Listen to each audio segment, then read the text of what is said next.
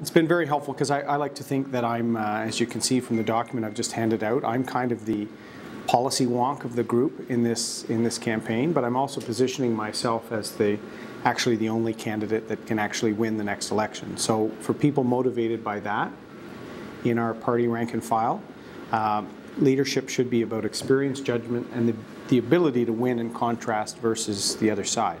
So since I launched my campaign in October, in a park in Bowmanville.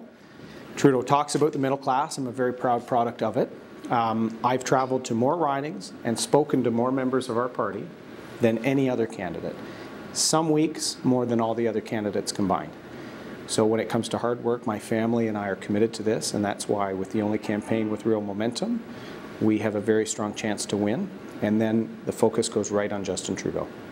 I think most members want to win the next election. Maxime Bernier cannot win the next election. Um, in fact, my thinking is we will lose seats under Maxime Bernier because he's pursuing issues that really aren't topical for most Canadians. And I haven't seen a track record before politics or during politics of delivering success. Mine has, and that's why I'm quite convinced if people were with Kevin O'Leary because of his private sector experience. We're going to be showcasing that more in the coming days.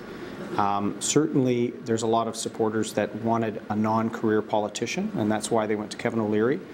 Of the remaining caucus candidates, I'm the least full-time politician. I've done 12 years in the military, about a decade in the corporate world, um, four years in politics. You do need a seat. I think Mr. O'Leary wasn't committed to run, and that was probably part of his calculation. But um, I have more support of our team members than Mr. Bernier or Mr. Scheer, and they've been in the team for 13 years. I've been in for four. So I think I will actually get most of Kevin O'Leary's support.